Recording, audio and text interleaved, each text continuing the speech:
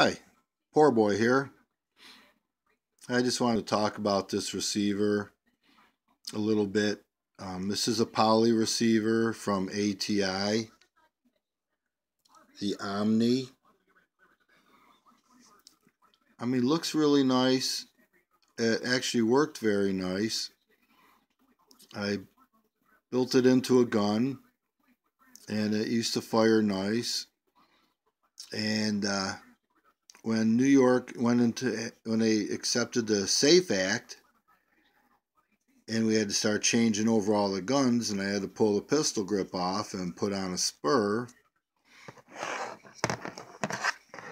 I noticed a lot of threat. I noticed a lot of plastic coming out with the screw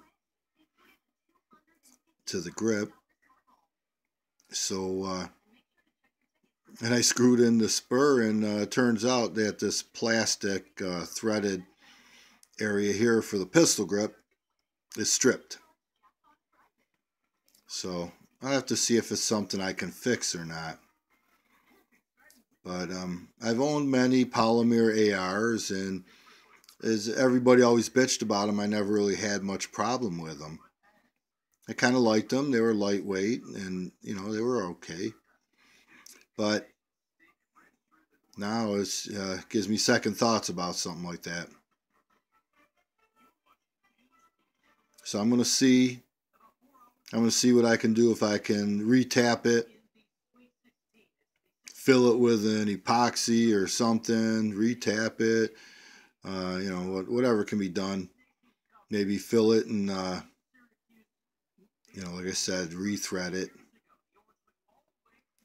But we'll see. Other than that, everything seems to be fine. But we'll see. I mean, you can't work with a loose grip. The grip would pull right out. And of course, you can end up losing the spring detent and select lever as well.